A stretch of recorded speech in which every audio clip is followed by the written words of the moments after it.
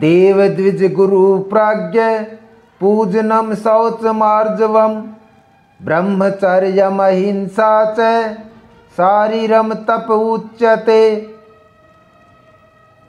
देवता, ब्राह्मण, गुरु और ज्ञानी जनों का पूजन, पवित्रता, सरलता, ब्रह्मचर्य और अहिंसा, यह शरीर संबंधी तप कहा जाता है। यहाँ गुरु शब्द से माता, पिता, आचार्य और वृद्ध एवं अपने से जो किसी प्रकार भी बड़े हों, उन सबको समझना चाहिए।